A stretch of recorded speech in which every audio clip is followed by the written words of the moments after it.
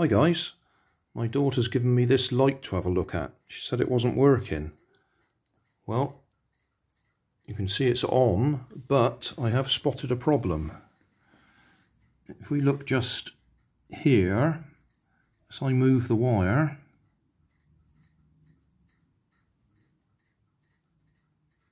I think you might be able to see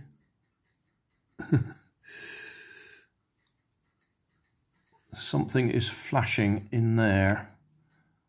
I suspect the insulation's gone. Right, try and keep this in focus. If we look right on the edge there, the wire's very dark. I think the two wires are actually shorting together there. It's probably got stressed at some time and we're getting a little lighting display when they short together. So I think if I take the base off,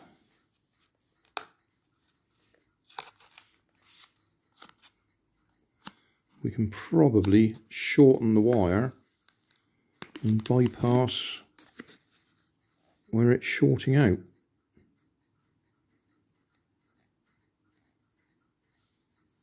Yeah, I should imagine that's been stretched.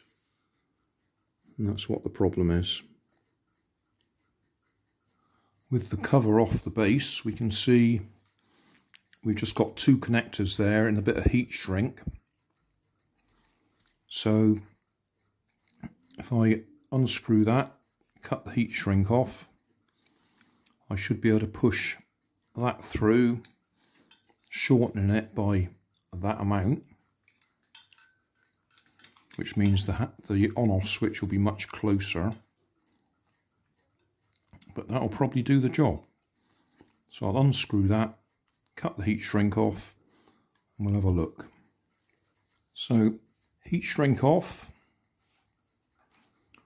two connectors. So I should be able to push that through and we can see straight away where that's bending there. That's where we got the problem. I hate these connectors. I think they're really rubbish.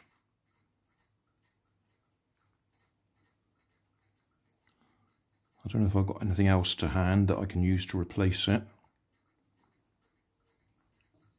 Just in case you haven't seen inside those connectors, it's just a tube crimped onto the wires.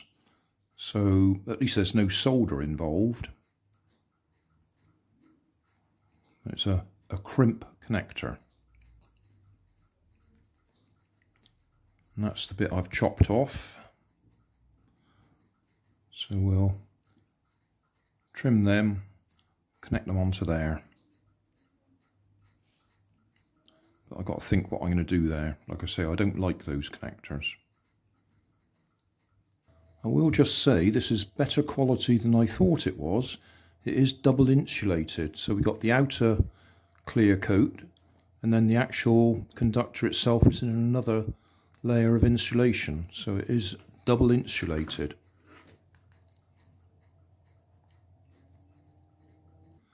I've decided to solder them, so that's what I've done soldered the two legs together.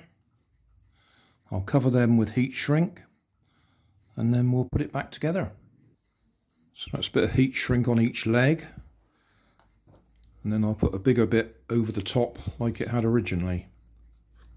So heat shrink, need to tuck it back in like it was before.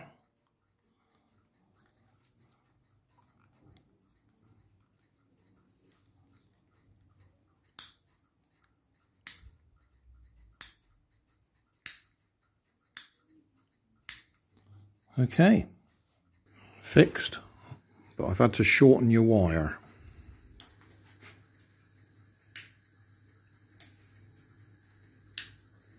Because it was right on the bend there, the wires had actually shorted out. I've just stripped these wires back so we can actually check they weren't shorting out together, which is what I thought was happening. It's actually the conductors have broken.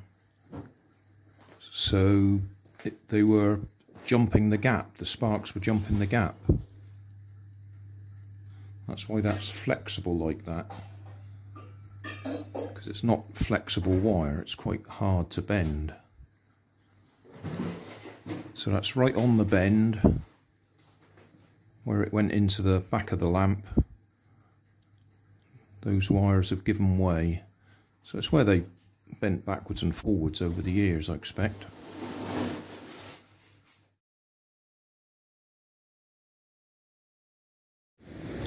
So thanks for watching. Don't forget to like and subscribe. Leave us a comment so I know how I'm doing. And somewhere up here there'll be some links to related playlists. Thanks again.